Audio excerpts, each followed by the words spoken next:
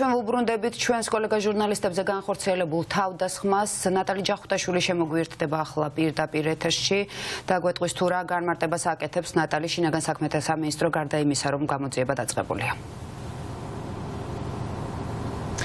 შინაგან საქმეთა სამინისტროს რეაგირება. ნამდვილადაა ჩვენს კითხვის ნიშნებს საგამოძიებო ორგანოში. თავდაპირველად განგვიცხადეს რომ გამოძიება დაწყებული იყო 126-ე მუხლით რაც გულისხმობს ძალადობას თუმცა სულ ცოტა ხნის წინ ხელმეორედ დაგვიკავშირდნენ და შეგვატყობინეს რომ ეს საქმე გადაეცა სპეციალურ საგამოძიებო სამსახურს. ჩვენ ბუნებრივია დავუკავშირდით ამ უწყებასაც თუმცა სპეციალურ საგამოძიებო სამსახურშიც აცხადებენ მხოლოდ იმას რომ გამოძიება მიმ მიმდინარეობს და არაფერს ამბობენ იმაზე არის თუ არა უკვე დაკავებული თავდამსხმელი ან მოხდა თუ არა ამ პირის იდენტიფიცირება თუ არა ესეც არის პრობლემა და დამატებით ეჭვებს ბადებს ხომ არ აფარებს ხელს ხელისუფლება მოძალადეს. იქიდან გამომდინარე რომ ამ მოქალაქის ვინაობის დადგენა არის ძალიან მარტივი რადგან კადრებში მისი სახე ნათლად გამოჩნდა.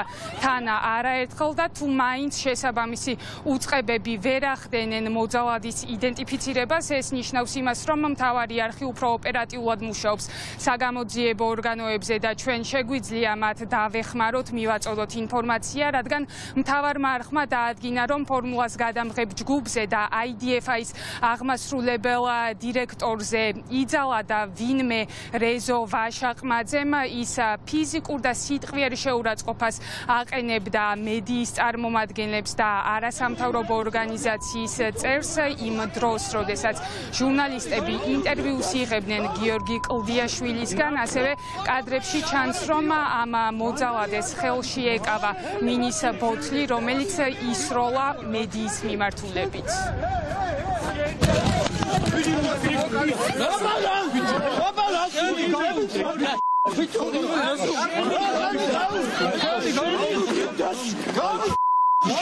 ნაპო არა გიო განელი არ დააგდო განელი გაწიე შენი ასველი შეხვარ გაგი შენ ე ე ე რა შენ დანეს აბარათი თქვენი დედა აი ფერი ბიჭო პოლიციას აიო შენ ეხა პოლიციას გამოიწა გამოიწა აი ფერი დედა ყველას.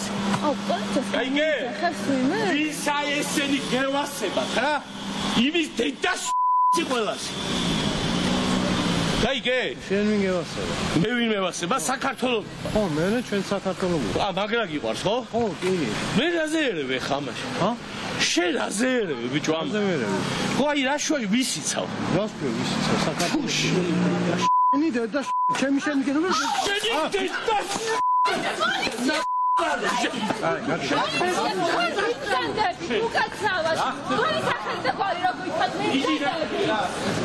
გადიე განია ნუ ხან გადაუბნები ერთი წუთი თქო იბრძადები ქალბატონო მომშვიდობა არის ეს ადამიანი შენ ხო სუდი ადამიანი. ხაი სახელი და გვარი რო გითხათ ვინ ბრძანდა? შენ სუდი ადამიანი ხარ მეთქი ბიჭო. შენ რა გიყვარს? მოდი ხარ გვაგინებს ნო. გვაგინებ კი არა მოსათ ვიღაც ათითაო ბიჭო. ბრძანდებით. მოგაკუა ნატომ. შენი დედა შენი დედა შენ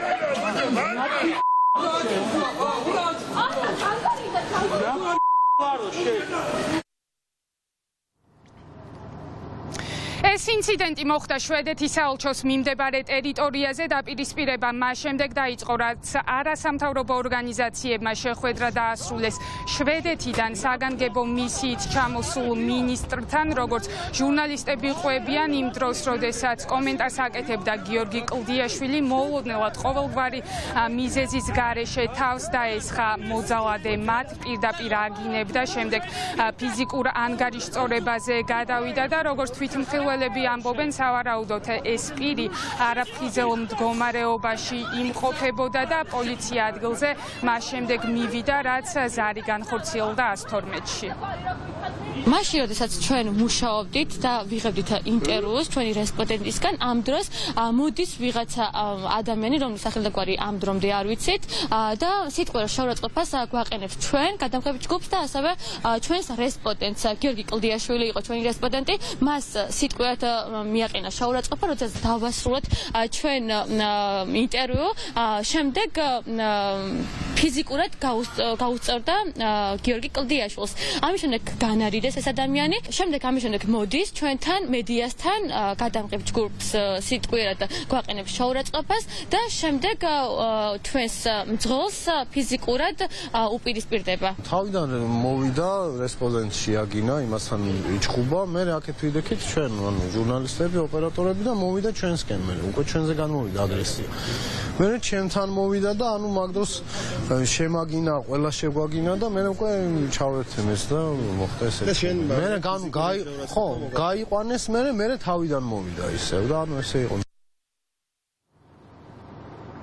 ეს არ არის პირველი შემთხვევა, როდესაც ქუჩაში ასე მოულოდნელად თავს ესხმიან მედიის წარმომადგენლებს ოპოზიციურად განწყობილ მოქალაქეებს. ასეთი ინციდენტების შემდეგ ფორმალურად იწყება ხოლმე გამოძიება, თუმცა ჩვენ დაშჯილი ამ ძალადობების გამო არავინ გვინახავს, ვნახოთ ახლა რა რეაგირება მოყვება ამ ყველაფერს შესაბამისი უწყებების მხრიდან.